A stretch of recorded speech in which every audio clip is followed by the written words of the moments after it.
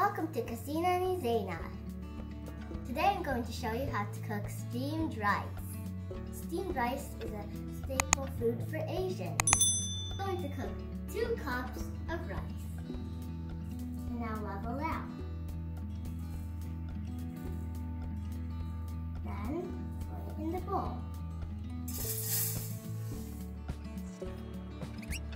Now wash the rice.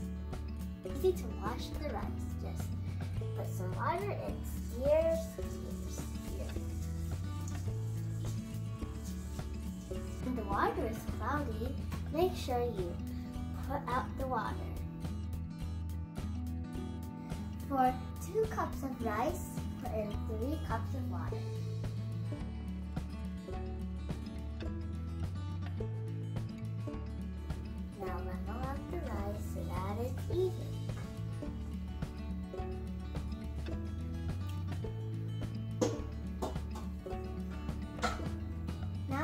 Use an instant pot to cook the rice. On the cover and twist it.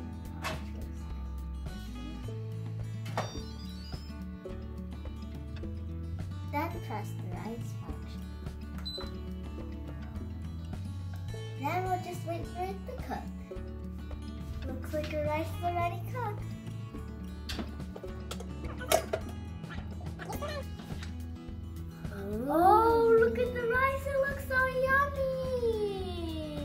Time to scoop it.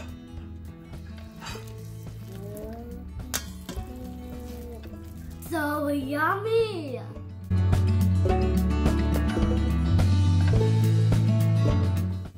For sponsors of this video, we'd like to thank Uncle Ben and Tita Michelle for giving us our Instant Pot.